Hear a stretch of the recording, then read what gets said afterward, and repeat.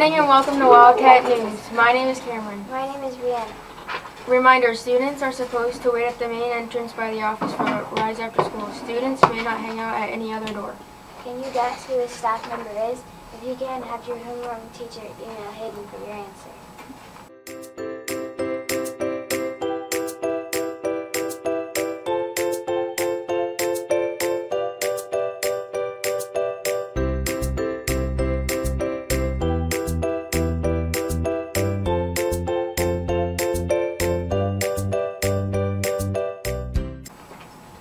Be sure to sign up for student parent conferences. They will be held this Wednesday and Thursday, February 28th at March 1st. Special Olympic fundraiser will be happening during conferences. Cookies and ginger donuts, a dollar. Jolly Time coated kettle popcorn, five dollars a bag. Lunch and supper, 11 to 5 p.m. Taverns, coleslaw, chips, cookies, pop, six dollars. Students will not have any school on Thursday and Friday, March 1st and 2nd. The SIA volleyball will be held tonight and tomorrow evening at West Middle. Here is a survey about what the best dessert is. Almond pie. Pumpkin pie. This dessert is Ice cream.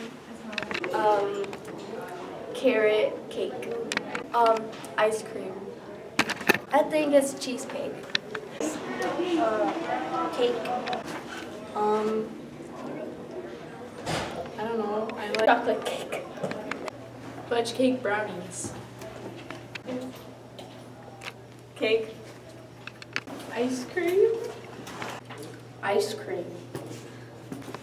I like cake, pie, and that's all. My favorite dessert is lemon meringue pie. And I think I'm an expert on it, so yeah, go try it. The best dessert is the biggest one. A big pie with a big cup of coffee. That's the best. Free tutoring is available every day in room 332 before and after school. Yearbook orders are beginning. Stu- students have until March 23rd. They are $20 if purchased at the school and 17 if purchased, purchased online.